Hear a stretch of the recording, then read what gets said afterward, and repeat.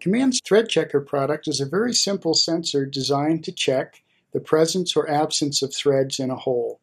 And to illustrate just how simple it is to use, we set up this display here with a uh, sample of a Command Thread Checker. The electronics is here, and the probe is mounted over here above a, a series of samples of threaded holes and non-threaded holes. We also have a control box over here that uh, will control this whole uh, process. So just to show you how easy it is to use, first you connect the thread checker to a plus 24 volt power supply.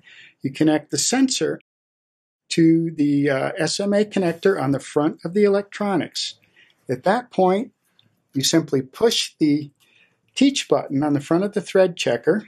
That puts it into calibrate mode, and you can see that by the flashing thread light on the, the electronics. You then insert the probe into a sample of a good threaded part Press the teach button again. You'll see the threaded light flashes at a different frequency.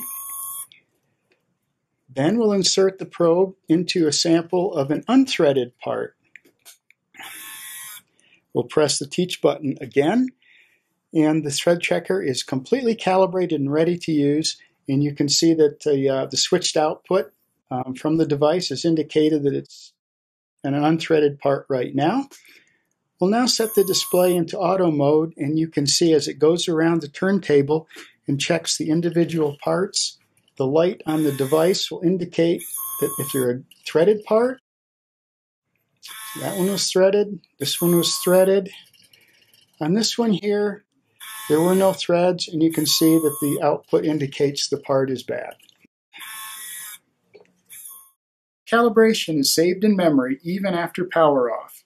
It only needs to be repeated when the sensor is replaced, when the material of the part is changed, or when the thread size to be checked is changed. Operation is not affected by cutting oil, coolant, dust, metal filings, or other contaminants on the part.